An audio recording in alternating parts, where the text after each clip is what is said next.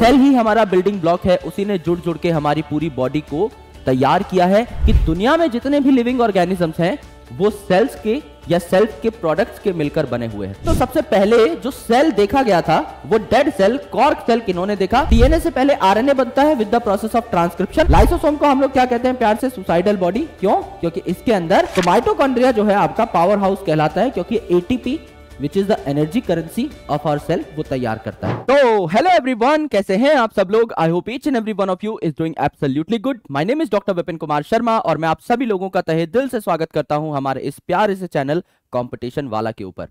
आज हम लोग स्टार्ट करने वाले हैं माइंड मैप सीरीज़ और इस लेक्चर को स्टार्ट करने से पहले let me give you a brief introduction of this series कि यहाँ पर हम लोग करने क्या वाले हैं। बिकॉज़ आपने मेरे लॉन्ग फॉर्मेट लेक्चर्स देखे होंगे एक एक चैप्टर को पाँच पाँच छह छह घंटे में आप लोगों ने बखूबी देख लिया होगा। बट माइंड मैप का मतलब होता है टू कनेक्ट द डॉट्स यानी अभी तक आपने जो भी चीज़ें सीखी हैं एक चैप्टर में उसको आप मिनिमम पॉसिबल साइज़ में कैसे कंसोलिडेट कर सकते हैं और कैसे सिर्फ़ कुछ चुनिंदा शब्दों की मदद से सिर्फ़ कुछ चुनिंदा फ्लोचार्ट्स की मदद से आप सारी चीज़ों को याद भी रख सकते हैं रिकेपिचुलेट भी कर सकते हैं इजीली सो so, यहाँ पर ये जो लेक्चर्स है ये मात्र आधे घंटे 40 मिनट के बीच में लेक्चर्स आपको देखने को मिलेंगे। और यहाँ पर हम माइंड मैप्स पहले से ड्रॉ करके लेके आएँगे, जो कि मेरे हैंड रिटन माइंड मैप्स होंगे और आपको बहुत पसंद आएँगे। बिकॉज़ स्टूडेंट्स के प्रीवियस ईयर के फीडबैक के हिसाब से ही इस साल के सारे माइंड मैप्स मैं खुद अपने हाथों से ड्रॉ कर रहा हूँ। और खूबसूरत इतने हैं माइंड मैप की देख करके आपको पता लग जाएगा कि किस तरीके से आपके कंसेप्ट क्लियर होने वाले हैं। These are the mind maps that I have drawn for you और मात्र तीन स्लाइड के अंदर मैं आपको ये पूरा का पूरा चैप्टर जो है cell the unit of life complete कराने वाला हूँ so without any further ado let start our chapter cell the unit of life आपको पता है कि सेल जो है, इसको हम लोग प्यार से क्या कहते हैं? Structural and functional unit of life कहते हैं। यानी हमारा स्ट्रक्चर हो, चाहे हमारे बॉडी के अंदर होने वाले सारे फ़ंक्शंस हो, ये सेल की मदद से ही होते हैं। सेल ही हमारा बिल्डिंग ब्लॉक है, उसी ने जुड़ जुड़ के हमारी पूरी बॉडी को तैयार किया है एज वेल एज हमारे सारे मेटाबॉलिक रिएक्शंस कहाँ हो रहे हैं? सेल के अंदर ही हो रहे हैं। सेल के अंदर एक सेमी फ्लूइड सब्सटेंस है, जिसको साइटोप्लाज्म कहा जाता है, जो हमारे सेल को लिविंग स्टेट में रखने के लिए इंपॉर्टेंट है, क्योंकि मेटाबॉलिक रिएक्शंस जो हैं, ज़्यादातर आपके उस साइटोप्लाज्म के अंदर ही होते हैं। जो ऑर्गेनिजम्स हैं, ये काफ़ी बार सिर्फ़ एक सेल भी कंटेन करते हैं, और काफ़ी ऐसे ऑर्गेनिजम्स होते हैं जहाँ पर आपको एक से ज़्यादा सेल्स देखने को मिलते हैं। ऐसे ऑर्गेनिज्म जो सिर्फ़ एक सेल कंटेन करते हैं, इन्हें यूनिसेलुलर ऑर्गेनिज्म कहा जाता है। जैसे किंगडम मोनेरा और किंगडम प्रोटिस्टा के सारे मेंबर्स ही यूनिसेलुलर हैं। पर क्या ये इंडिपेंडेंटली एग्जिस्ट कर पा रहे थे? बिल्कुल कर पा रहे थे। और क्या ये अपने अंदर होने वाले सारे के सारे फ़ंक्शंस को ठीक तरीके से परफॉर्म कर रहे थे? यस यानी चाहे एक ऑर्गेनिज्म सिर्फ़ एक ही सेल क्यों ना कंटेन कर रहा हो, ये इंडिपेंडेंटली एग्जिस्ट कर सकते हैं और अपने अंदर होने वाले सारे के सारे फ़ंक्शंस को भी बढ़िया तरीके से रेगुलेट कर सकते हैं। यानी इनके काम में कोई कमी नहीं आएगी। इनफैक्ट दुनिया में कुछ ऐसे काम हैं जो सिर्फ़ यूनिसेलुलर या प्रोकैरियोटिक ऑर्गेनिजम्स कर सकते हैं, जो यूकैरियोटिक मल्टीसेलुलर ऑर्गेनिजम्स सोच भी नहीं सकते, जैसे नाइट्रोजन फिक्सेशन यानी अपना काम बखूबी संभाल सकते हैं। यूनिसेलुलर ऑर्गेनिज्म में किसी चीज़ की खासी कमी नहीं है। लेकिन मल्टीसेलुलर ऑर्गेनिजम्स में आपकी क्लियर कट बायफर्केशन होती है कामों की। कुछ पर्टिकुलर टाइप ऑफ़ सेल्स एक काम करेंगे, कुछ बचे हुए सेल्स दूसरा काम करेंगे। इस तरीके से आपको डिवीज़न ऑफ़ लेबर देखने को मिलता है और एक अच्छी खासी ऑर्गेनाइजेशन आपको देखने को मिलती है। जैसे हमारी बॉडी की ही अगर हम बात करें तो हमारे सेल्स ने मिलकर के टिश्यूज बनाए टिश्यूज ने मिलकर के ऑर्गन्स बनाए ऑर्गन्स ने मिलकर के ऑर्गन सिस्टम तैयार किया। इसीलिए हमारी बॉडी में digestive system circulatory system respiratory system excretory system locomotory system chemical control के लिए सिस्टम हार्मोनल सिस्टम या जिसे एंडोक्राइन सिस्टम कहते हैं न्यूरल सिस्टम आपका इम्यूनोलॉजिकल सिस्टम रिप्रोडक्टिव सिस्टम ये सब मौजूद है। तो हमारी ऑर्गेनाइजेशन काफ़ी कॉम्प्लेक्स होती है। अगर आप बात करें सेल थ्योरी की तो ये एक बहुत ही ज़्यादा इंपॉर्टेंट थ्योरी थी, जिसने हमें यह बताया कि दुनिया में जितने भी लिविंग ऑर्गेनिजम्स हैं वो सेल्स के या सेल्स के प्रोडक्ट्स के मिलकर बने हुए हैं। और यह सेल थ्योरी देने में तीन साइंटिस्ट का सबसे इंपॉर्टेंट योगदान था।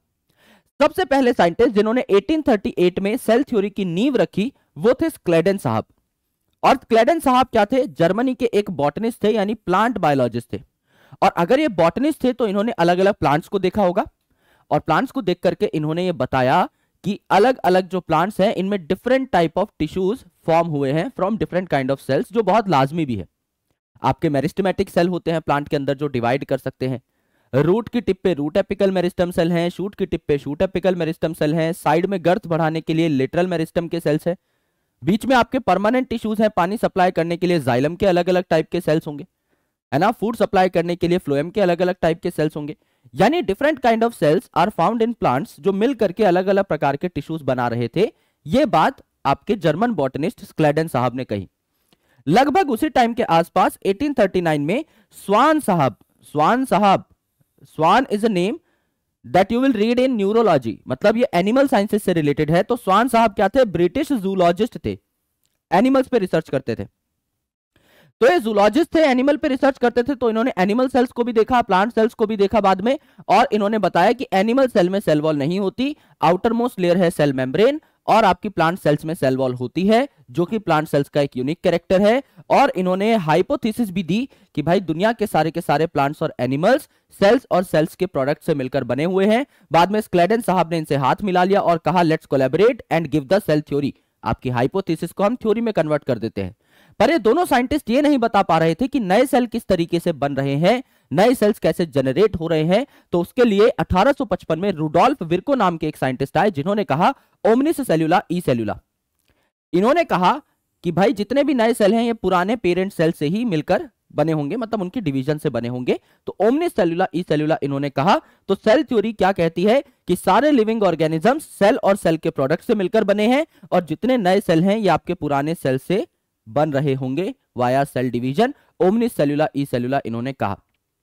अगर आप देखें तो सबसे पहले जो सेल देखा गया था, वो डेड सेल, कॉर्क सेल किन्होंने देखा, रॉबर्ट हुक साहब ने देखा 1665 में। रॉबर्ट ब्राउन साहब ने 1831 में न्यूक्लियस की डिस्कवरी करी और एंटोन वॉन ल्यूवेनहॉक ने पहली बार लिविंग यानी ज़िंदा सेल को देखा था। तो ये साइंटिस्ट जो है, इनकी कंट्रीब्यूशन भी आपको याद करनी होती है। अगर आप देखें अब तो सेल बायोलॉजी में आपको प्रोकैरियोटिक सेल पढ़ना होता है।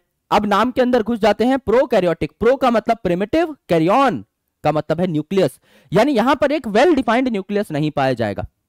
यानी जो जेनेटिक मटेरियल है, जो डीएनए है, वो नंगा पुंगा पड़ा हुआ है, उसके ऊपर एक मेम्ब्रेन जो है न्यूक्लियर एनवेलप जो है, वो नहीं है। यानी वेल डिफाइंड न्यूक्लियस ना होने का मतलब है कि यहाँ पर न्यूक्लियर एनवेलप जो है, नहीं देखने को मिलेगी। और साथ ही साथ बची हुई मेम्ब्रेन बाउंड ऑर्गेनेल्स भी नहीं देखने को मिलेंगे। यानी प्रोकैरियोटिक सेल में कोई एंडोप्लाज्मिक रेटिकुलम, कोई गोल्जी कॉम्प्लेक्स, कोई आपकी न्यूक्लियर एनवेलप, कोई माइटोकॉन्ड्रिया, कोई क्लोरोप्लास्ट, ऐसी मेम्ब्रेन बाउंड ऑर्गेनेल्स नहीं पाई जाती।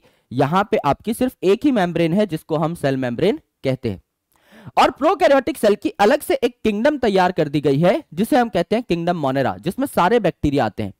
तो चाहे आपके आर्की बैक्टीरिया हो, चाहे यू बैक्टीरिया हो, चाहे आपका साइनो बैक्टीरिया हो, जिसे ब्लू ग्रीन एल्गी कहते हैं चाहे आपका माइकोप्लाज्मा हो, जो कि दुनिया का सबसे स्मॉलेस्ट सेल है, जिसकी लेंथ पॉइंट थ्री माइक्रोमीटर होती है, जिसका एक टाइप है पीपीएलओ जिसकी जो आपकी डायमेंशन है पॉइंट वन माइक्रॉन है तो ये भी आपके प्रोकैरियोटिक सेल्स ही होते हैं, ये भी आपके किंगडम मोनेरा में ही पाए जाते हैं। तो आप सिंपल तरीके से देखो तो जितने भी किंगडम मोनेरा के मेंबर्स हैं, वो आपके प्रोकैरियोटिक होंगे। अब ये जो आपके प्रोकैरियोटिक सेल्स हैं, इनमें अलग अलग चीज़ें पाई जाती हैं। सबसे पहली और सबसे खास चीज़ जो है इनमें, वो है इनका सेल एनवेलप यानी अगर आप प्लांट सेल की बात करें तो सेल मेम्ब्रेन है, उसके ऊपर आपकी सेल वॉल है. हमारी अगर आप बात करें एनिमल सेल्स की तो सिर्फ़ सेल मेम्ब्रेन है सेल वॉल भी नहीं है. अगर आप ज़्यादातर बैक्टीरिया की बात करें तो पहले सेल वॉल है, पहले सेल मेम्ब्रेन है सॉरी ऊपर सेल वॉल है, और उसके ऊपर भी आपका क्या है, यहाँ पर ग्लाइकोकैलिक्स का एक कोट है. ग्लाइको का मतलब क्या होता है? शुगर यानी कार्बोहाइड्रेट कैलिक्स का मतलब क्या होता है? आउटर मोस्ट कोट यानी यहाँ पर आपकी सेल मेम्ब्रेन या प्लाज्मा मेम्ब्रेन तो अंदर है सेल वॉल उसके बाहर है, लेकिन इसके बाहर आपका ग्लाइकोकैलिक्स नाम का कोट भी है। अब ये जो आपकी सेल मेम्ब्रेन है सेल वॉल है और ग्लाइकोकैलिक्स का कोट है, ये आपस में एकदम टफ तरीके से पाए जा सकते हैं। तो इसे बोलेंगे भाई कैप्सूल बना रहे हैं ये। और अगर आपका सेल मेम्ब्रेन और सेल वॉल के ऊपर ढीली ढीली सी आपकी स्लाइमी सी लेयर पाई जा रही है ग्लाइकोकैलिक्स के फॉर्मेट में तो ये लूज लेयर जो है, इसे स्लाइम लेयर कहा जाता है। यानी दो तरीके से आपकी ग्लाइकोकैलिक्स पाई जा सकती है। या तो टफ कैप्सूल बना रही होगी, या फिर आपका लूज लेयर या स्लाइम लेयर बना रही होगी। ये तीनों चीज़ें आपकी एक बैक्टीरियल सेल के बाहर पाई जा रही हैं, यानी इनका काम प्रोटेक्शन का तो है ही, लेकिन इनके अपने अपने अलग अलग काम भी हैं। जैसे सेल मेम्ब्रेन का मेन काम क्या होता है? ये सिलेक्टिवली परमिएबल होती है। तो चीज़ों के आदान प्रदान को ये रेगुलेट करती है। कौन सी चीज़ सेल के अंदर आएगी? कौन सी चीज़ सेल के बाहर जाएगी? यानी एनवायरमेंट से इंटरेक्ट करने का काम प्लाज्मा मेम्ब्रेन का या सेल मेम्ब्रेन का होता है। सेल वॉल की अगर आप बात करें तो ये मेचोरिटी पर अंबुजा सीमेंट की बनती है, यानी आपकी रिजिड सेल वॉल होती है तो ये शेप और स्ट्रक्चर प्रदान करती है आपके किसी भी सेल को। तो बर्स्टिंग और कोलैप्सिंग से बचाती है, यानी किसी भी सेल को फटने से या पिचकने से बचाती है, उसकी एक प्रॉपर शेप को मेंटेन करके रखती है सेल वॉल और ग्लाइकोकैलिक सबसे बाहर की लेयर है तो ये होस्ट के इम्यून सिस्टम को एस्केप करने में मदद करती है एक बैक्टीरिया की. यानी अगर कोई बैक्टीरिया हमारी बॉडी में घुस रहा है तो हमारी बॉडी के इम्यून सेल्स उस बैक्टीरिया का कुछ खास ना बिगाड़ पाए, इस बात को इंश्योर करती है ग्लाइकोकैलिक्स की लेयर है ना? अब ये जो सेल मेम्ब्रेन है यहाँ पर, ये तो फ्लेक्सिबल है भाई, मैंने आपको बताया सेल वॉल तो बहुत रिजिड है है ना? एक पर्टिकुलर शेप है इसकी। सेल मेम्ब्रेन जो है it is formed up of lipid and proteins and जो लिपिड्स होते हैं सेल मेम्ब्रेन में, ये इस सेल मेम्ब्रेन को फ्लेक्सिबल बनाते हैं तो ये सेल मेम्ब्रेन अलग अलग आपके इनफोल्डिंग्स बना सकती है। जैसे आपका ट्यूब जैसी इनफोल्डिंग भी बना सकती है ट्यूबुलर गोल मटोल आपकी मेम्ब्रेन स्ट्रक्चर बना सकती है वेसाइकल एंड आपकी इस प्रकार से लेमली भी बना सकती है रेटिकुलर स्ट्रक्चर भी बना सकती है। तो ट्यूब्यूल वेसाइकल और लेमली की फॉर्मेट में ये आपकी इनफोल्ड हो सकती है अंदर की साइड और मीजोजोम तैयार कर सकती है। मीजोजोम क्या हुआ फिर? इनफोल्डिंग ऑफ़ प्लाज्मा मेम्ब्रेन और इसका मेन काम क्या है? M for mesosome M for mitochondria यानी माइटोकॉन्ड्रिया जैसे यूकैरियोटिक सेल में रेस्पिरेशन का काम करता है, उसी प्रकार से यहाँ पर सरफेस एरिया बढ़ रहा है मेम्ब्रेन का तो रेस्पिरेशन का काम कौन करेगा? आपके प्रोकैरियोटिक सेल में मीजोजोम और यहाँ पर वेसाइकल लाइक स्ट्रक्चर भी बन रही है तो ये आपका सिक्रीशन का काम भी करती है, यानी कोई चीज़ अगर सेल के बाहर भेजनी है तो भी मीजोसोम आपका बाहर भेज सकती है। किस वजह से? आपका वेसाइकल बनाने की वजह से। इसके अलावा भी डीएनए कैसे रेप्लीकेट हो रहा है और उसको डिस्ट्रीब्यूट कैसे करना है दो डॉटर सेल में, ये भी आपका मीजोसोम काम रेगुलेट करता है। इसी प्रकार की इनफोल्डिंग जो है और बन सकती है प्लाज्मा मेम्ब्रेन की, जिसके ऊपर पिगमेंट्स पाए जा सकते हैं। है ना? इसे क्या कहा जाता है? क्रोमेटोफोर तो क्रोमेटोफोर में क्रोमा का मतलब क्या होता है? कलर तो कलरफुल पिगमेंट्स यहाँ पर पाए जा सकते हैं। ये दोनों ही आपकी इंपॉर्टेंट जो है स्ट्रक्चर्स है इन प्रोकैरियोटिक सेल जहाँ मेम्ब्रेन इनफोल्ड होकर के मीजोजोम या क्रोमेटोफोर बना सकती है। अगर आप देखें तो एक और जो खास चीज़ पाई जाती है आपके प्रोकैरियोटिक सेल में, वो है इंक्लूजन बॉडीज इंक्लूजन बॉडीज मतलब क्योंकि अब मेम्ब्रेन बाउंड ऑर्गेनेल तो प्रोकैरियोटिक सेल में पाई नहीं जाती। तो इंक्लूजन बॉडीज क्या है? जहाँ पर एक जैसा मटेरियल इकट्ठा हो जाएगा, वहाँ पर एक पर्टिकुलर स्ट्रक्चर ये धारण कर लेती है। जैसे बहुत सारे फॉस्फेट मॉलिक्यूल है तो प्रोकैरियोटिक सेल में उन फॉस्फेट मॉलिक्यूल को फैला फैला ना रहने दिया जाए, एक जगह इकट्ठा कर लिया जाए, ऐसी प्लानिंग करता है प्रोकैरियोटिक सेल तो सारे फॉस्फेट मॉलिक्यूल्स एक साथ आ गए तो उन्होंने एक स्ट्रक्चर बना लिया, एक बॉडी बना ली, जिसे हम क्या कहते हैं? फॉस्फेट ग्रेन्यूल यानी एक छोटा सा ग्रेन्यूल है, एक छोटा सा राउंड सा टुकड़ा है जहाँ बहुत सारे फॉस्फेट मॉलिक्यूल्स आकर अटैच हो गए, इसके ऊपर कोई मेम्ब्रेन नहीं है। यानी चीज़ों की स्टोरेज में ये काम करती हैं इंक्लूजन बॉडीज मेम्ब्रेन हो ही नहीं सकती आपके यहाँ पर प्रोकैरियोटिक सेल के अंदर, अगर आप देखें तो किसी भी ऑर्गेनेल में तो ये मेम्ब्रेन लेस होती हैं। अगर फॉस्फेट के बहुत सारे मॉलिक्यूल साथ एसोसिएट हो गए तो फॉस्फेट ग्रेन्यूल, ग्लाइकोजन जो कि एनिमल में स्टोरेज मटेरियल है, उसके काफ़ी सारे अगर कंपोनेंट साथ में आ गए तो ग्लाइकोजन ग्रेन्यूल अगर काफ़ी सारे पिगमेंट आ गए जो क्रोमेटोफोर में भी आ रहे थे तो साइनोफाइसियन ग्रेन्यूल यहाँ पर हो जाएगा। एंड बायंसी प्रोवाइड करने के लिए गैस वैक्यूल भी पाए जाते हैं आपके कहाँ पर? ब्लू, ग्रीन, एल्गी और पर्पल सल्फ़र बैक्टीरिया के अंदर। ये आपको देखने को मिल सकते हैं। पर्पल, ग्रीन बैक्टीरिया के अंदर भी आपको देखने को मिल सकते हैं। तो गैस वैक्यूल नाम से ही पता लग रहा है। गैस किसी भी चीज़ को उठाने में मदद करेगी, यानी बायंसी प्रोवाइड करने में मदद करेगी। ये आपकी इंक्लूजन बॉडीज है। अगर आप देखो तो और प्रोकैरियोटिक सेल में क्या पाए जा सकते हैं भाई? सरफेस स्ट्रक्चर्स प्रोकैरियोटिक सेल का एक स्ट्रक्चर है। उसके ऊपर आपके सरफेस पे भी तो कुछ चीज़ें पाई जाएँगी ना, जैसे फ्लैजला पाया जाएगा। फ्लैजला का काम क्या है भाई? सेल को मूव कराना, यानी मोटिलिटी का काम है।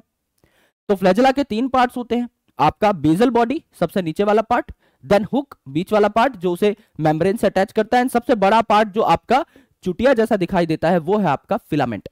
तो यहाँ पर तीनों चीज़ें आपको बढ़िया तरीके से देखने को मिलती हैं। फिम्ब्रे जो है, ये ब्रिजल लाइक स्ट्रक्चर्स होते हैं, जो कि आपके बैक्टीरियल सेल के सरफेस से निकल रहे होते हैं और एनकरेजमेंट या अटैचमेंट में हेल्प करते हैं। यानी बैक्टीरियल सेल को अगर कहीं पर बैठना है, आसपास अगर पानी बह रहा है और वो चाहता है कि अपनी जगह से ना हिले तो वो इन ब्रिजल्स की मदद से किसी पत्थर पे चिपक सकता है। आपकी बॉडी में भी अगर कोई बैक्टीरिया घुसा है और आपके किसी टिश्यू से, किसी ऑर्गन से चिपकना चाहता है तो उसको ये ब्रिजल लाइक ग्रिपिंग्स चाहिए होंगी। जैसे सीएट टायर का एड आता है ना तो ब्रेक मारता है कोई इंसान जो बाइक चला रहा है वो बारिश में और टायर रुक जाता है। Because it has additional grippings वो दिखाई भी जाती हैं रबर की ब्लैक कलर की ग्रिप्स उस टायर पे लगी रहती हैं। सेम ग्रिप्स हैं आपके फिमरे। चलने फिरने में कोई काम नहीं है इनका मोटिलिटी में कोई रोल नहीं है, यानी इनका मेन काम क्या है? एनकरेजमेंट और पिलाए जो है, ये कंजुगेशन में हेल्प करता है, यानी इसे हम सेक्स पिलाए बोलते हैं। ये एक ट्यूब लाइक स्ट्रक्चर है जो दो बैक्टीरिया को जोड़ देता है। ये एक बैक्टीरिया ये एक बैक्टीरिया इनके बीच में ये ट्यूब लाइक स्ट्रक्चर है।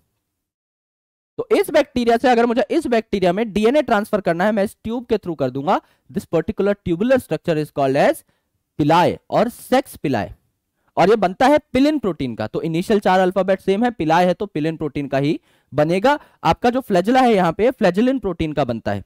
जबकि यू कैरियोटिक सेल में फ्लेजला कैसे बनेगा? आपका किस प्रोटीन का? ट्यूबुलिन प्रोटीन का माइक्रो ट्यूब्यूल्स का मिलकर के बना हुआ होता है।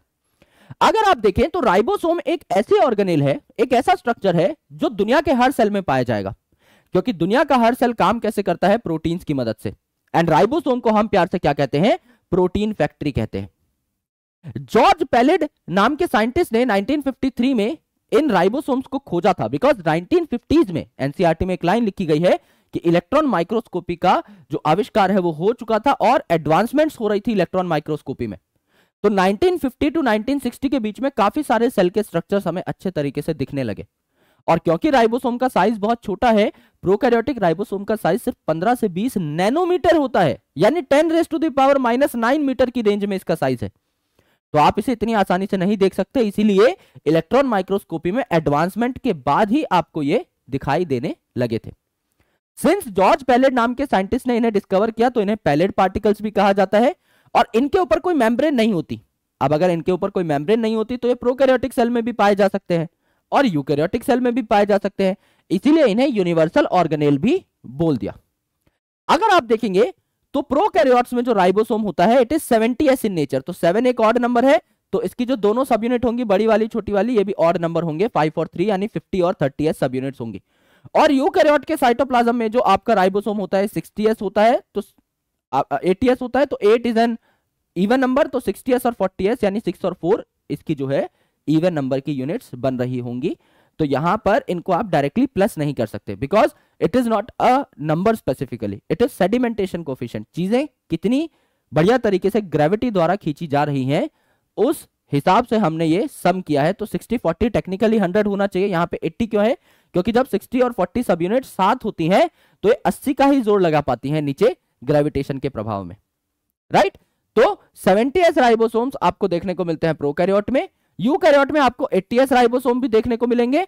प्लस आपके यूकैरियोट के अंदर जो क्लोरोप्लास्ट और माइटोकॉन्ड्रिया है, वो सेवेंटीएस राइबोसोम भी कंटेन करते हैं। तो कोई सवाल पूछे कि भाई यू कैरियोट में किस किस टाइप के राइबोसोम्स पाए जाएँगे? दोनों सेवेंटीएस और एटीएस पाए जाएँगे। साइटोप्लाज्म और एंडोप्लाज्मिक रेटिकुलम के साथ एसोसिएटेड जो राइबोसोम्स होंगे, वो होंगे एटीएस और आपके क्लोरोप्लास्ट एंड माइटोकॉन्ड्रिया के अंदर, जो कि सेमी ऑटोनॉमस ऑर्गेनेल है, इनमें पाया जाएगा सेवेंटी एस राइबोसोम क्योंकि वो बैक्टीरिया से मिलते जुलते हैं। अब यहाँ पर अगर हम इन्हें प्रोटीन फैक्ट्री कह रहे हैं तो ये प्रोटीन बना रहे होंगे। किससे प्रोटीन बना रहे होंगे? एक सेकंड भाई, ये क्या हो गया? ओके किससे प्रोटीन बना रहे होंगे? आरएनए से प्रोटीन बना रहे होंगे। क्योंकि आपको पता है डीएनए से पहले आरएनए बनता है with the process of transcription और आरएनए से प्रोटीन बनता है। तो आरएनए जो है, ये वाला जो आपका आरएनए का स्ट्रैंड है, इसके ऊपर आकर के काफ़ी सारे राइबोसोम बाइंड कर जाते हैं। बड़ी वाली सब यूनिट राइबोसोम की, छोटी वाली सब यूनिट बड़ी वाली सब यूनिट छोटी वाली सब यूनिट बड़ी वाली सब यूनिट छोटी वाली सब यूनिट तो क्या यहाँ पर आपको एक पॉलीराइबोसोम बनता हुआ दिखाई दे रहा है? इसे हम पॉलीसोम भी कहते हैं। अब ये राइबोसोम इस एमआरएनए को प्रोटीन में कन्वर्ट कर देंगे। तो दोनों जगह पर पाया जाता है आपका क्या? राइबोसोम चाहे प्रोकैरियोटिक सेल हो, चाहे आपका यूकैरियोटिक सेल अगर आप देखोगे तो अब आपको देखने को मिलता है एंडोमेम्ब्रेन सिस्टम है ना? एंडोमेम्ब्रेन सिस्टम मतलब जो यूकैरियोटिक सेल है, इसमें खूब सारी कंपार्टमेंटलाइजेशन है। क्योंकि हर ऑर्गेनेल के पास अपनी खुद की मेम्ब्रेन है, सिर्फ़ कुछ को छोड़ के। जैसे अगर हम यूकैरियोटिक सेल की बात करें तो राइबोसोम पे कोई मेम्ब्रेन नहीं है it is membraneless organelle animal cell की अगर आप बात करो तो सेंट्रियोल नाम का एक स्ट्रक्चर है जिसपे खुद की ऑर्गेनेल नहीं होती। तो इनको छोड़ करके बाकी जो ऑर्गेनेल्स हैं, चाहे एंडोप्लाज्मिक रेटिकुलम हो, चाहे न्यूक्लियस स्वयं हो, इस पे दो एनवेलप पाए जाते हैं। चाहे माइटोकॉन्ड्रिया हो, चाहे क्लोरोप्लास्ट हो, चाहे परोक्सीसोम हो, इनमें आपको क्या देखने को मिलती है? अच्छी खासी मेम्ब्रेन्स देखने को मिलती हैं। तो एक कंपार्टमेंटलाइजेशन होती है, सब अपने कंपार्टमेंट्स बनाकर बैठे हुए हैं। And it becomes really really important for all of us to understand कि कुछ ऑर्गेनेल साथ में मिलकर के काम करती हैं। जैसे आपका endoplasmic reticulum Golgi complex lysosome and vacuole ये साथ मिलकर के काम करती हैं। तो ये चारों ऑर्गेनेल्स मिलकर के बनाती हैं एंडोमेम्ब्रेन सिस्टम सबसे पहले आपको न्यूक्लियस समझा देता हूँ, यही की यही। न्यूक्लियस जो है, इसके ऊपर दो मेम्ब्रेन्स पाई जा रहे हैं, मैंने आपको बताया, दो एनवेलप्स होंगे, ये वाला आपका इनर एनवेलप ये वाला आपका आउटर एनवेलप अब ये इनर एनवेलप और आउटर एनवेलप साथ साथ थे, लेकिन कहीं कहीं पर क्या हो जाते हैं? फ्यूज हो जाते हैं। अगर ये inner envelope outer envelope fuse हो जाएँगे तो भैया यहाँ पर आपका रास्ता बन जाएगा आने जाने का। यस तो ये जो रास्ता है, ये जो छेद है, इसको न्यूक्लियर पोर कहा जाता है। इससे चीज़ें न्यूक्लियस से साइटोप्लाज्म में भी जा सकती हैं और साइटोप्लाज्म से न्यूक्लियस में भी जा सकती हैं। मैंने आपको बताया कि आरएनए कन्वर्ट होता है प्रोटीन में। अब ये जो राइबोसोम है, जो प्रोटीन बना रहे हैं, कहाँ पाए जाएँगे? न्यूक्लियस के अंदर तो है नहीं। ये आपके कहाँ पाए जाएँगे? यहाँ पर पाए जाएँगे। एंडोप्लाज्मिक रेटिकुलम से एसोसिएटेड तो अगर यहाँ पर डीएनए से आरएनए बना है तो क्या इसे साइटोप्लाज्म में जाना पड़ेगा प्रोटीन बनाने के लिए? बिल्कुल जाना पड़ेगा। तो क्या इसे बाहर निकलना पड़ेगा आरएनए को? बिल्कुल निकलना पड़ेगा। और यहाँ पर आपका प्रोटीन बन चुका है राइबोसोम की मदद से तो क्या यह प्रोटीन न्यूक्लियस में जा सकता है कुछ काम के लिए? बिल्कुल जा सकता है। न्यूक्लियस को भी तो खुद के प्रोटीन चाहिए ना। तो कुछ अगर न्यूक्लियस के प्रोटीन्स बनेंगे तो उन्हें भी न्यूक्लियस के अंदर घुसना है तो this nuclear pore is very important अब आप देखिए जो इनर एनवेलप और आउटर मेम्ब्रेन के बीच में जो गैप है, इसे हम क्या बोलते हैं? पेरी न्यूक्लियर स्पेस जो 10 से 50 नैनोमीटर का होता है। न्यूक्लियस के अंदर, जैसे सेल के अंदर साइटोप्लाज्म पाया जाता है तो न्यूक्लियस के अंदर ये जो आपका प्लाज्मा है, इसको क्या बोल दोगे? न्यूक्लियोप्लाज्म बोल दोगे? बिल्कुल बोल दोगे।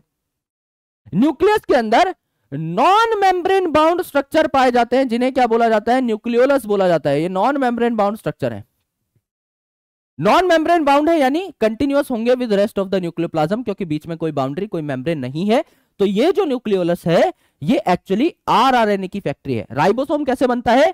आरआरएनए प्लस प्रोटीन से मिलकर के। तो अगर किसी सेल में आपको ज़्यादा प्रोटीन बनाने हैं तो आपको ज़्यादा राइबोसोम की ज़रूरत है, क्योंकि वो है प्रोटीन फैक्ट्री और अगर आपको ज़्यादा राइबोसोम बनाने हैं तो वो किससे मिलकर बने हैं? राइबोसोम बनाने के लिए जो आरएनए यूज़ किया जाता है, उसका नाम है राइबोसोमल आरएनए। इसीलिए तो नाम राइबोसोमल आरएनए रखा, क्योंकि राइबोसोम बनाने में हेल्प कर रहा है। तो राइबोसोमल आरएनए आपका क्या करेगा? आपका राइबोसोम तैयार करा देगा, और वो राइबोसोमल आरएनए कौन बनाता है? न्यूक्लियोलस। यानी जिस सेल में आपको ज़्यादा प्रोटीन बनाना है, वहाँ ज़्यादा बड़े और ज़्यादा नंबर में न्यूक्लियोलस पाए जाएँगे। यहाँ रेफरेंस के लिए मैंने एक बनाया है, एक से ज़्यादा न्यूक्लियोलस भी हो सकते हैं। एंड यहाँ पर आपका डीएनए इंटरफेस में पाया जाता है एकदम खुला खुला। है ना? एकदम खुला खुला यहाँ पर डीएनए पाया जाता है, जिसको हम कहते हैं क्रोमेटिन लेकिन सबसे बड़ी बात जो है कि अकेले डीएनए को हम क्रोमेटिन नहीं कहते। आपका डीएनए जो है, इसके साथ साथ ये जो छोटे टुकड़े हैं लाल कलर के आरएनए के, यहाँ पर जो है हिस्टोन प्रोटीन्स जो कि बेसिक प्रोटीन्स होते हैं, और कुछ नॉन हिस्टोन प्रोटीन्स इस पूरे के पूरे स्ट्रक्चर को हम लोग क्रोमेटिन कहते हैं, यानी आपका खुला खुला डीएनए, साथ में छोटे छोटे आरएनए, हिस्टोन प्रोटीन्स और नॉन हिस्टोन प्रोटीन्स, इन सबको मिलाकर हम क्रोमेटिन कहते हैं। बाद में आपका ये जो क्रोमेटिन है, जो खुला खुला पड़ा है, ये पैक होकर के क्या बना लेता है आपका? क्रोमोसोम बना लेता है और इस तरीके के अलग अलग क्रोमोसोम्स आपके तैयार हो सकते हैं। ये जो सेंटर पे बॉडी पाई जा रही है क्रोमोसोम के, इसे क्या कहा जाता है? सेंटर पे है तो इसे कहा जाता है सेंट्रोमेयर। इसे सेंट्रोमेयर कहा जाता है। यहाँ भी सेंट्रोमेयर है, यहाँ भी सेंट्रोमेयर है, यहाँ भी सेंट्रोमेयर है, यहाँ भी सेंट्रोमेयर है। फ़र्क क्या है? सेंट्रोमेयर की पोजीशन में। अब ये जो आपका क्रोमोसोम है, इसमें दोनों साइड की जो आर्म्स है ना, ये वाली और ये वाली, है ना, ये आपकी बराबर है अच्छे तरीके से। इन्हें कहा जाता है क्रोमेटेड। ये एक क्रोमेटेड हो गई क्रोमोसोम के, दूसरी क्रोमेटेड हो गई। तो ये दोनों सेम पिताजी से जुड़ी हुई हैं तो इन्हें सिस्टर क्रोमेटेड कहा जाता है। इसी तरीके से ये और ये भी सिस्टर क्रोमेटेड है, ये और ये भी सिस्टर क्रोमेटेड है तो दिस इज़ सेंट्रोमेयर और इससे एसोसिएटेड होती हैं दो सिस्टर क्रोमेटेड्स।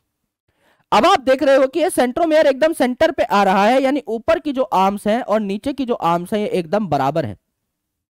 राइट ऊपर और नीचे की आर्म्स एकदम बराबर है तो इसे कहा जाता है मेटासेंट्रिक क्रोमोजोम मेटासेंट्रिक क्रोमोजोम इसे कहा जाता है। ठीक है? यहाँ पर अगर आप देखेंगे तो ऊपर वाली आर्म थोड़ी छोटी है, नीचे वाली आर्म थोड़ी बड़ी है तो यहाँ पर सेंट्रोमेयर अब एकदम सेंटर पे नहीं रहा थोड़ा सा आपका ऊपर शिफ्ट हो गया है।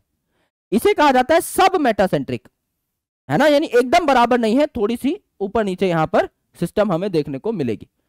आगे देखोगे एक्रोसेंट्रिक यानी एक साइड की आर्म एकदम छोटी, एक साइड की आर्म एकदम बड़ी तो एक्रोसेंट्रिक यहाँ पे तो थोड़ा बहुत ही फ़र्क था यहाँ पे खूब फ़र्क आ गया। टीलोसेंट्रिक मतलब सेंट्रोमेयर पहुँच चुका है टेल पे। टीलोसेंट्रिक मतलब टेल पे पहुँच चुका है। तो आपके सिर्फ़ दो ही आपको यहाँ पर आर्म्स दिखाई दे रही हैं। ऊपर की दो आर्म्स तो है ही नहीं। तो ये चार प्रकार के क्रोमोसोम यहाँ पर बनते हैं जिनकी शेप होती है V L J and I respectively जो आपको सेल साइकिल सेल डिवीज़न में समझाई जाएँगी कि किस प्रकार से शेप आपकी तैयार होती है। राइट सो so, यहाँ पर पहले डीएनए खुला खुला पड़ा हुआ है। जब ज़रूरत होगी सेल डिवीज़न के टाइम पे तो ये जो डीएनए है, इसको क्या कर दिया जाएगा? पैक करके क्रोमोजोम बना दिए जाएँगे। अगर आप देखो, अब एंडोमेम्ब्रेन सिस्टम को तो एंडोमेम्ब्रेन सिस्टम में चार ऑर्गेनेल्स आ रही हैं। सबसे पहले एंडोप्लाज्मिक रेटिकुलम। एंडोप्लाज्मिक रेटिकुलम के अंदर का ये जो रीजन है, इसको क्या कहा जाता है? इसको कहा जाता है ल्यूमेन ऑफ़ एंडोप्लाज्मिक रेटिकुलम। तो जितना मैं बना रहा हूँ, ये क्या है? Luminal part of endoplasmic reticulum. है ना? एक सेल के अंदर सिर्फ़ ये जो पार्ट है, इसे ल्यूमिनल पार्ट कहा जाता है। बचा हुआ जो सारा साइटोप्लाज्म है, उसे एक्स्ट्रा ल्यूमिनल पार्ट कहा जाता है।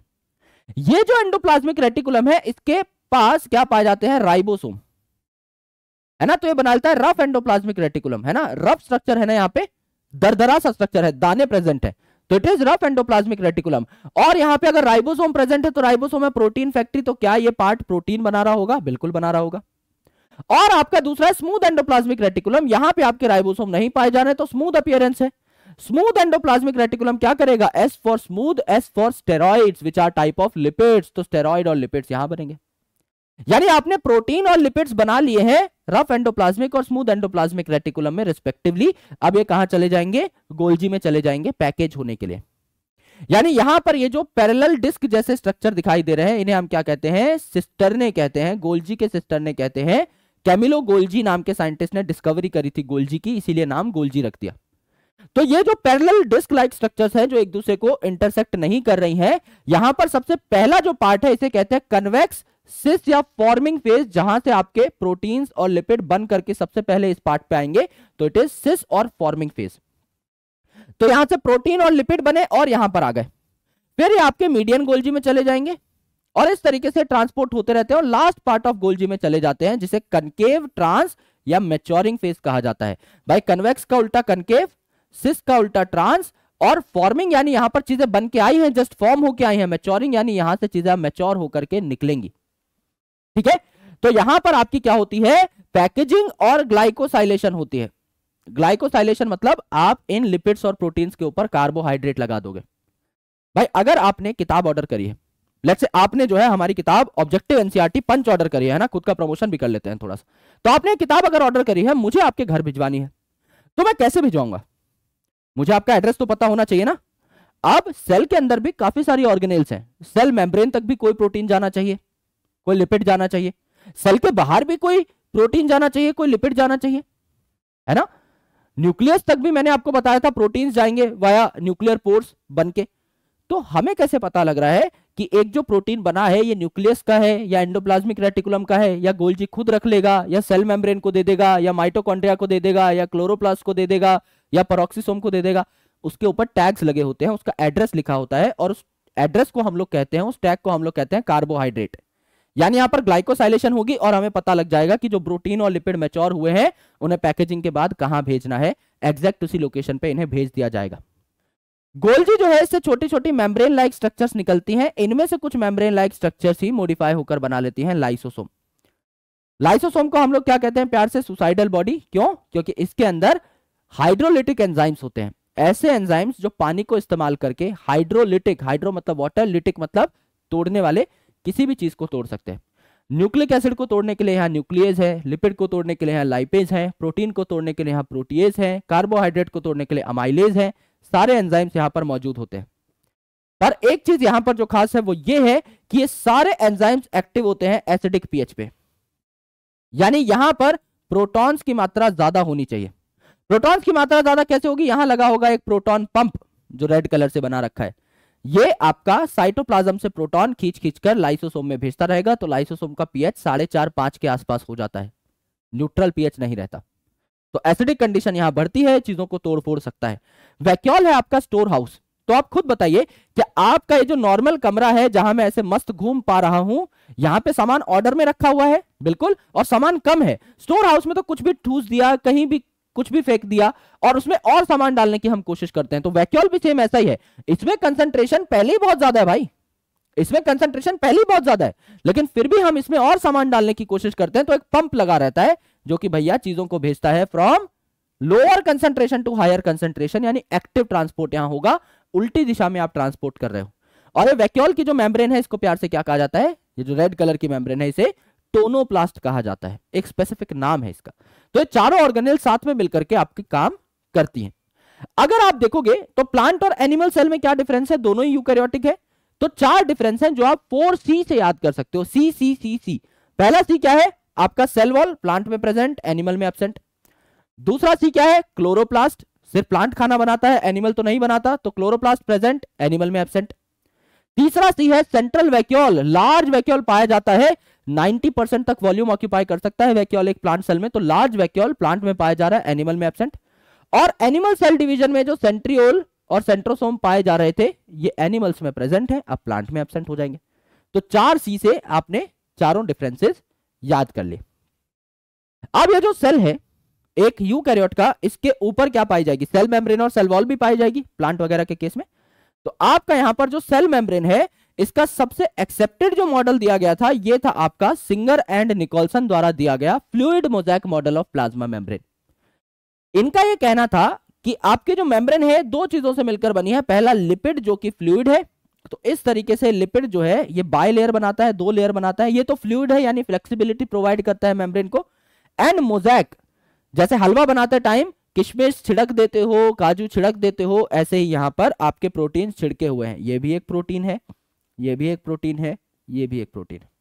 ये प्रोटीन अलग अलग टाइप के होते हैं। ये वाला एकदम सरफेस पे प्रेजेंट है, इसको आप भगा सकते हो इजीली तो इट इज़ एक्सट्रिंसिक प्रोटीन। और ये दोनों जो प्रोटीन है, देखो मेम्ब्रेन में गड़े हुए हैं। ये वाला आधा गड़ा हुआ है पार्शली गड़ा हुआ है, ये वाला पूरा मेम्ब्रेन में गड़ा हुआ है तो इनको रिमूव करना मुश्किल है। These are called as intrinsic protein और इंटीग्रल प्रोटीन इन प्रोटीन्स का काम क्या होता है? ये वाला जो प्रोटीन है, इसे टनल प्रोटीन कहते हैं तो टनल लिखा हुआ है मैंने सेंटर पे। देखो, यहाँ पर ये जो लिपिड है ना इट हैज़ टू पार्ट्स सबसे पहला जो गोल मटोल पार्ट है ये फॉस्फेट कंटेन करता है। That's why this lipid is called as phospholipid ये सबसे ज़्यादा अबंडेंट होते हैं मेम्ब्रेन में तो दिस इज़ फॉस्फोलिपिड तो ये पोलर होता है। फॉस्फेट पे चार्ज होता है ना तो इट इज़ पोलर तो ये वाटर के साथ इंटरेक्ट कर सकता है। भाई सेल के बाहर भी पानी है सेल के अंदर भी पानी है।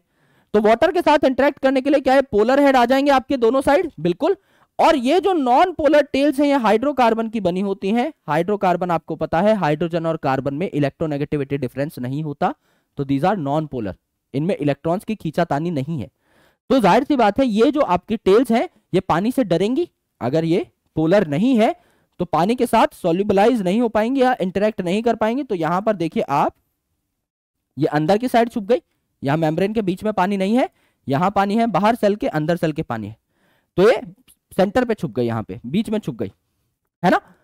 अब देखिए क्या हुआ। अब यहाँ पर कोई चीज़ ऐसी है विच इज़ न्यूट्रल तो क्या वो न्यूट्रल चीज़ डायरेक्टली पास हो जाएगी इस मेम्ब्रेन से? बिल्कुल पास हो जाएगी। लेकिन कोई चीज़ ऐसी है, जो कि आपकी पास नहीं हो सकती। है ना? जो कि आपकी पोलर है। अगर कोई चीज़ पोलर है तो यहाँ तक तो आ जाएगी। नॉन पोलर टेल उसे आगे नहीं आने देंगी ना। तो पोलर चीज़ों को पास कराने के लिए पोलर अमीनो एसिड का बना हुआ ये टनल प्रोटीन होता है, जिसे आप क्या कहते हो? कैरियर प्रोटीन कहते हो या आपका परमिएज भी कहते हो? परमिएबिलिटी बढ़ाता है और इन मॉलिक्यूल्स को एक दिशा से दूसरी दिशा में भेजने में मदद करता है। प्रोटीन और लिपिड के अलावा यहाँ पर कार्बोहाइड्रेट भी पाए जाते हैं जो कि सिर्फ़ ऊपर वाली साइड मिलेंगे यानी सेल के बाहर मिलेंगे। अंदर मैंने कार्बोहाइड्रेट नहीं बनाए। तो अगर कार्बोहाइड्रेट प्रोटीन के साथ इंटरेक्ट कर रहे हैं तो कार्बोहाइड्रेट मतलब ग्लाइको प्रोटीन के साथ इंटरेक्ट कर रहे हैं ग्लाइको प्रोटीन अगर ये कार्बोहाइड्रेट लिपिड के साथ इंटरेक्ट कर रहे हैं तो कार्बोहाइड्रेट मतलब ग्लाइको इंटरेक्ट कर रहे हैं लिपिड के साथ, ग्लाइको लिपिड एकदम सही है। राइट, ये आपको देखने को मिलता है। इसके अलावा आपका कोलेस्ट्रॉल भी पाया जा सकता है एनिमल की सेल मेम्ब्रेन के अंदर, जो कि एक मेम्ब्रेन स्टेबलाइजर है तो बीच बीच में आपको ये कोलेस्ट्रॉल भी देखने को मिल सकता है। मेन जो दो पार्ट्स हैं, वो है आपके लिपिड और प्रोटीन। जैसे आरबीसी की अगर आप बात करें, हमारी एरिथ्रोसाइट की अगर आप बात करें 52 परसेंट प्रोटीन है 40 परसेंट लिपिड है, बचा हुआ 8 परसेंट आपका कार्बोहाइड्रेट और कोलेस्ट्रॉल है। और ये प्रोटीन और लिपिड की मात्रा कांस्टेंट नहीं है अलग अलग सेल्स में अलग अलग हो सकती है। जैसे अगर आप माइलिन शीत की बात करें तो वहाँ पर लिपिड ज़्यादा हो जाएगा और प्रोटीन आपका कम हो जाएगा। काम के हिसाब से ये मात्रा जो है ऊपर नीचे हो सकती है। अगर आप देखें सेल वॉल तो सेल वॉल का एक ही डायग्राम है जो आपको याद करना है। भाई ऑरेंज कलर की क्या है आपकी? सेल मेम्ब्रेन है। सेल मेम्ब्रेन के ऊपर आपको क्या देखने को मिल रही है? सेल वॉल देखने को मिल रही है। ये रिजिड सेल वॉल होती है। ठीक है? तो यहाँ पर ये जो दो प्लांट सेल है, इनको कनेक्ट किया जा रहा है तो इनको कनेक्ट करने के लिए बीच में क्या आ गई? इनकी सेल वॉल्स को कौन कनेक्ट कर रही है? मिडल लेमेला जो किसकी बनती है? कैल्शियम पैक्टेट की बनती है। ये पूछा जाता है कि मिडल लेमेला किससे बनी है? कैल्शियम पैक्टेट की। तो दो प्लांट सेल को कनेक्ट करने के लिए बीच में जो मिडल लेमेला है, ये कैल्शियम पैक्टेट की बनती है। और दो प्लांट सेल के साइटोप्लाज्म को जोड़ने के लिए बीच में जो रास्ता है, जो इनके साइटोप्लाज्म को डायरेक्टली कनेक्ट कर रहा है इट इज़ बेसिकली प्लाज्मोडेस्मेटा जिससे कि इस सेल से, इस सेल में कोई सामान जा पाए, इस सेल से, इस सेल में कोई सामान जा पाए, बीच में रास्ता बना दिया है, जिसे प्लाज्मोडेस्मेटा कहते हैं। अब जब आपका प्लांट सेल नया नया होता है ना तो इसमें प्राइमरी सेल वॉल आती है, जो कि सेल को ग्रो करने देती है। क्योंकि एक बार अगर सेल वॉल रिजिड हो गई तो सेल ग्रो नहीं कर पाएगा, अपनी शेप को चेंज नहीं कर पाएगा। तो इसीलिए प्राइमरी सेल वॉल वहाँ पर पाई जाती है। लेकिन जब सेल मेच्योर होता है ना तो आपकी प्राइमरी सेल वॉल जो है, बाहर की साइड आपकी डिग्रेड होने लग जाती है और इसके अंदर की साइड आपको क्या देखने को मिलती है? सेकेंडरी सेल वॉल देखने को मिलती है। तो आप चाहो तो बाहर की साइड डिग्रेड होती हुई डॉटेड प्राइमरी सेल वॉल बना सकते हो। सेल वॉल अलग अलग ऑर्गेनिज्म में अलग अलग टाइप की होगी। जैसे अगर आप बैक्टीरिया की बात करें, उसमें भी यू बैक्टीरिया की तो पेप्टिडोग्लाइकन की सेल वॉल होगी। अगर आप आर्की बैक्टीरिया की बात करें तो सूडोम्यूरिन की सेल वॉल होगी। अगर आप प्लांट की बात करें तो यूजुअली सेल्यूलोजिक सेल वॉल होगी। एल्गी की अगर आप बात करें विच इज़ अ प्लांट तो सेल्यूलोज तो होगा ही, उसके साथ साथ गैलेक्टेंस मैनन्स और कैल्शियम कार्बोनेट भी पाया जा सकता है। एनिमल्स में कोई सेल वॉल नहीं होती। फंगस में अगर आप देखोगे तो काइटिन की सेल वॉल होगी। तो इस तरीके से आपको काफ़ी सारे अलग अलग सेल वॉल्स देखने को मिलते हैं। अगर आप यूकैरियोटिक सेल के अंदर और चलो तो पहले तो एंडोमेम्ब्रेन सिस्टम हो गया, जहाँ endoplasmic reticulum Golgi complex lysosome और वैक्यूल पाए जा रहे हैं। इसके अलावा अगर आप देखो माइटोकॉन्ड्रिया जो है, जो भाई power house of the cell है, ये क्या है आपका? Sausage shape double membrane structure है। इसके आउटर मेम्ब्रेन तो एकदम कंसिस्टेंट है, कोई दिक्कत नहीं है इसमें। इनर मेम्ब्रेन जो है भाई इनफोल्डिंग दिखाती है, जिन्हें क्रिस्टा कहा जाता है। ये इनफोल्डिंग जो है सरफेस एरिया बढ़ाने के लिए इन्हें क्रिस्टा कहा जाता है, ये यहाँ पर दिखा रहे हैं। और माइटोकॉन्ड्रिया और क्लोरोप्लास्ट क्या होते हैं भैया? सेमी ऑटोनॉमस होते हैं, यानी इनके पास खुद का डीएनए है बैक्टीरिया जैसा गोल मटोल खुद के राइबोसोम है 70 एस खुद का आरएनए है, खुद का क्या बना लेंगे अपना प्रोटीन बना लेंगे तो सेमी ऑटोनॉमस भी ये होते हैं। सेम चीज़ आपको देखने को मिलती है क्लोरोप्लास्ट में, है ना? यहाँ पर दो मेम्ब्रेन होती हैं डबल मेम्ब्रेन बाउंड ये भी स्ट्रक्चर है, और ये भी सेमी ऑटोनॉमस है, यानी इसके अंदर क्या होगा? इसके अंदर भी खुद का डीएनए होगा, खुद का आपका राइबोसोम होगा, खुद का आरएनए होगा, खुद के आपके प्रोटीन्स बना सकता है।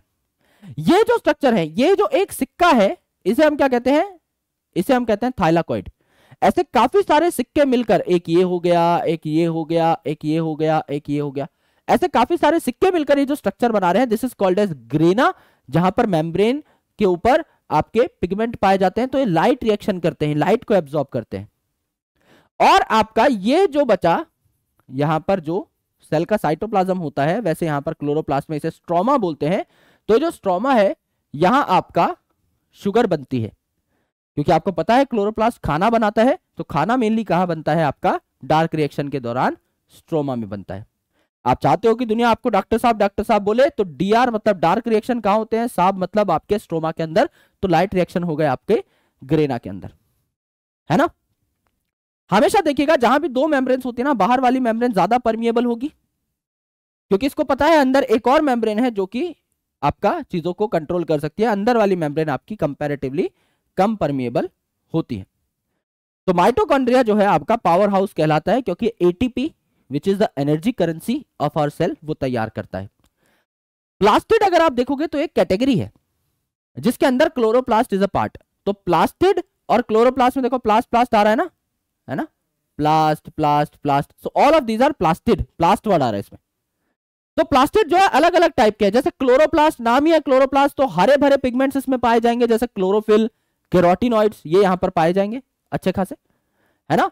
तो यहाँ पर आपको क्लोरोप्लास्ट का स्ट्रक्चर हमने दिखा ही दिया है। अगर आप बात करेंगे क्रोमोप्लास्ट की तो क्रोमा मतलब होता है कलर यानी यहाँ पर और रंग बिरंगे पिगमेंट पाए जाएँगे, जैसे कैरोटीन और जेंथोफिल जो कि आपका पिंक येलो ऑरेंज इस प्रकार के कलर प्रोवाइड कर सकते हैं, जो कि कैरेट का कलर होता है तो कैरोटीन उसी प्रकार का कलर इसको प्रोवाइड करेगा।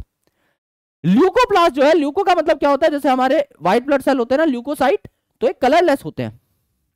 तो ल्यूकोप्लास्ट जो है इट इज़ ऑल्सो कलरलेस तो ये कलर तो प्रोवाइड कर नहीं रहा तो ये क्या कर रहा है? स्टोरेज का काम करेगा। भैया क्या क्या स्टोर करेगा? एल्यूरो का मतलब होता है प्रोटीन तो ये या तो प्रोटीन स्टोर कर सकता है। अमाइलोप्लास्ट अमाइलो का मतलब होता है कार्बोहाइड्रेट तो ये तो स्टार स्टोर कर सकता है। इलायो में ही आ रहा है ओ आई एल तो ये ऑयल स्टोर कर सकता है, बिल्कुल। है ना? तो ये आपका एल्यूरो, अमाइलो और इलायोप्लास्ट प्रोटीन, स्टार्च और ऑयल स्टोर करते हैं रिस्पेक्टिवली अब अगर आप देखेंगे एक सेल के अंदर तो you have cytoskeletal elements cyto का मतलब होता है सेल और स्केलेटल मतलब ढांचा.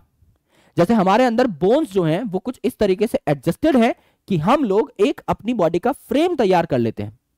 सिमिलरली यहाँ पर भी सेल को एक फ्रेम देने के लिए, एक नेटवर्क देने के लिए प्रोटीन्स लगे होते हैं. प्रोटीन के फिलामेंट्स लगे होते हैं सेल के अंदर, जिससे एक शेप उसको मिल जाए अच्छी खासी। और यहाँ पर तीन प्रकार के आपके साइटोस्केलेटल एलिमेंट्स होते हैं माइक्रोफिलामेंट या एक्टिन फिलामेंट जिनका डायमीटर सबसे कम है। इंटरमीडिएट फिलामेंट नाम ही इंटरमीडिएट है तो बीच में आएगा तो इसको तो बिल्कुल बेझिझक बीच में रख दो। और माइक्रोट्यूब्यूल आपका सबसे बड़ा होता है डायमीटर में माइक्रोट्यूब्यूल जो आपका सिलिया फ्लैजला और सेंट्रियोल बनाता है। तो जब ये आपका माइक्रोट्यूब्यूल सिलिया फ्लैजला बनाएगा तो नाइन प्लस टू अरेंजमेंट होगी। भाई, ये जो डबलेट्स है डबलेट माइक्रोट्यूब्यूल आपके नौ लगे हुए होंगे। ये one two three four five six seven eight nine ये नौ आपके डबलेट है माइक्रोट्यूब्यूल्स के। एंड यहाँ पर सेंटर पर दो सिंगलेट है। तो नाइन प्लस टू अरेंजमेंट हो गई, नौ डबलेट बाहर, दो सिंगलेट अंदर nine plus two arrangement singlets को साथ में कनेक्ट करने वाली ब्रिज का नाम है इंटर सिंगलेट ब्रिज डबलेट्स को साथ में कनेक्ट करने वाले लिंकर का नाम है इंटर डबलेट ब्रिज और यहाँ पर ये सेंटर वाले जो है सिंगलेट यहाँ पे एक शीत पाई जाती है सेंट्रल शीत उससे कनेक्ट कर रहा है डबलेट को कौन? रेडियल स्पोक तो नौ डबलेट हैं तो ये नौ ब्लू कलर के रेडियल स्पोक आपको देखने को मिलते हैं। बाहर की साइड होती है प्लाज्मा मेम्ब्रेन क्योंकि प्लाज्मा मेम्ब्रेन से ही एक्सटेंशन निकल करके बनाती है क्या? सिलिया और फ्लैजला तो नाइन प्लस टू अरेंजमेंट है। ये जो है, ये आपका एक्सोनियम कहलाता है। यानी अगर ये सिलिया है, चोटी निकल रही है, मैं सेल हूँ, मेरे ऊपर से चोटी निकल रही है, सिलिया निकल रहा है या फ्लैजला निकल रहा है, इसको मैं अगर काटूं और ऊपर से देखूँ तो मेरे को क्या सिर्फ़ ये गोल वाला पार्ट दिखाई देगा? ये गोल वाला पार्ट मैंने यहाँ पर बना रखा है। एनिमल सेल में जो सेंट्रियोल होता है, इसमें नाइन प्लस ज़ीरो अरेंजमेंट होती है, यानी बाहर तो आपके नौ, आपके ट्रिपलेट्स हैं। है ना? यहाँ पर डबलेट ना होकर के सिलिया फ्लेजला की तरह ट्रिपलेट पाए जा रहे हैं। है ना? तो एक ट्रिपलेट, दो, तीन, चार, पाँच छ सात, आठ, नौ नौ ट्रिपलेट है और सेंटर पे कुछ भी नहीं है। सेंटर पे प्रोटीन यहाँ पर जमा हो रखे हैं, जिसे हब कहा जाता है। तो it's called as proximal proteinaceous region called hub और यहाँ पर रथ के पहिए जैसा स्ट्रक्चर देखने को मिलता है। देखो इंटर ट्रिपलेट ब्रिज है, ये ट्रिपलेट्स आपस में कनेक्ट हो रहे हैं। इंटर ट्रिपलेट ब्रिज है तो यहाँ पर आपको नाइन प्लस ज़ीरो अरेंजमेंट देखने को मिली। बाहर की साइड नौ ट्रिपलेट्स हैं, लेकिन सेंटर पे कुछ भी नहीं है। कोई माइक्रो माइक्रोट्यूब्यूल नहीं है तो it is nine plus zero arrangement ये एक सेंट्रियोल है।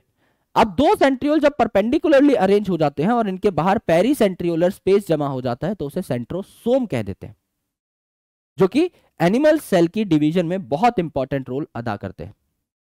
है ना? एस्टर्स बनाते हैं। स्पिंडल फाइबर यहाँ से आपके निकल करके क्रोमोसोम के काइनेटोकोर से बाइंड कर रहे होते हैं। ये जो आपका सेंट्रियोल है सेंट्रियोल कह रहा हूँ सॉरी ये जो आपका सेंट्रोमियर है, इसके चारों ओर एक प्रोटीन की डिस्क होगी जिसको काइनेटोकोर कहेंगे। इस पर आपके अटैच होते हैं स्पिंडल फाइबर्स कुछ क्रोमोसोम ऐसे होते हैं जिनमें एक और ऊपर बॉडी पाई जाती है छोटी सी, जिसे सैटेलाइट कहा जाता है। ये सैटेलाइट सब क्रोमोसोम में नहीं होती। तो अगर ये सैटेलाइट किसी क्रोमोसोम में प्रेजेंट है it is called as SAT chromosome छोटा सा नॉन स्टेनिंग रीजन होता है। और अगर कहीं नहीं पाई जा रही है तो नॉन सैटेलाइट क्रोमोसोम या नॉर्मल क्रोमोसोम भी कह सकते हो। है ना? एंड देन आपकी लास्ट जो ऑर्गेनेल है that is microbody microbody plant या एनिमल में भी पाई जा सकती है, जैसे परोक्सीसोम और इनमें कुछ स्पेसिफिक एंजाइम्स होते हैं। जैसे परोक्सीसोम में परोक्साइड डिग्रेड करने का एंजाइम होता है। तो हाइड्रोजन परोक्साइड जो है H2O2 जो हार्मफुल है, उसको आप कन्वर्ट कर देंगे H2O में, यानी वाटर में, और O2 में, यानी ऑक्सीजन में, जो कि सेफ़ प्रोडक्ट्स हैं। That is basically your micro body मतलब मुझे ऐसा लगता है कि ये मेरी ज़िंदगी की सबसे छोटी वीडियो होगी अभी तक जो मैंने अकेडमिकली बनाई है पीडब्ल्यू के ऊपर but I really enjoyed making it because this is really efficient also आप इन माइंड मैप्स का प्रिंट निकाल सकते हैं या खुद से भी ड्रॉ कर सकते हैं that is totally your call मैंने कोई छेड़खानी नहीं करी है इस माइंड मैप के साथ क्योंकि ये सफिशियंट है दोस्त। है ना? मेन मेन आपको पॉइंट याद रखने होते हैं। आप सब कुछ ही लिख दोगे नोट्स में तो ultimately you are not going to revise them in the smallest time possible आपको कोई पॉइंट अगर एक्स्ट्रा लगता है तो आप इसमें नोट कर सकते हो, ये भी आपका ही कॉल है। लेकिन जो सबसे इंपॉर्टेंट पॉइंट थे जहाँ से क्वेश्चन बनते हैं, वो मैंने आपको यहाँ पर ओरली और माइंड मैप की मदद से बता दिए हैं और माइंड मैप बने हैं बहुत खूबसूरत। बहुत ज़्यादा टाइम लगा है इनको हाथ से ड्रॉ करने में। एक एक चीज़ मैंने परफेक्शन से करने की कोशिश करी है। सो अगर आपको पसंद आया हो तो नीचे कमेंट सेक्शन में एक बार मुझे ज़रूर बताइएगा, जिससे मुझे मिल जाए बूस्ट और मैं उस बूस्ट को पी करके which is secret of my energy आपके लिए और ज़्यादा माइंड मैप्स और अच्छे तरीके से, और क्रिएटिविटी के साथ लेकर आ सकूँ। और आप लोग एकदम खुश हो जाएँ इन माइंड मैप्स को देख करके। यही मेरी कोशिश रहती है। और पिछले साल से कुछ नया किया जाए, अलग किया जाए, ये भी एक प्रयास था जो कि मुझे लगता है कि मेरे एंड से इन टर्म्स ऑफ़ कंटेंट सफल हुआ है। और ऐसी ही क्रिस्प क्रिस्प वीडियोस ला करके रिवीजन वीडियोस ला करके आपके रिवीजन को बहुत बूस्टअप किया जाएगा। सो अगर आपको ये लेक्चर पसंद आया then we boost up in the comment section और मैं मिलता हूँ अगले सेशन में आपके साथ एक नए माइंड मैप के साथ मैं यहाँ पर पहुंचूँगा, जिसे हम सेल साइकिल सेल डिवीज़न बोलने वाले हैं। पूरा चैप्टर वहाँ पर खत्म हो रहा होगा। एंड देन हम लोग बढ़ेंगे toward systematics living world biological classification plant kingdom सारे माइंड मैप्स आपको मैं कराने वाला हूँ।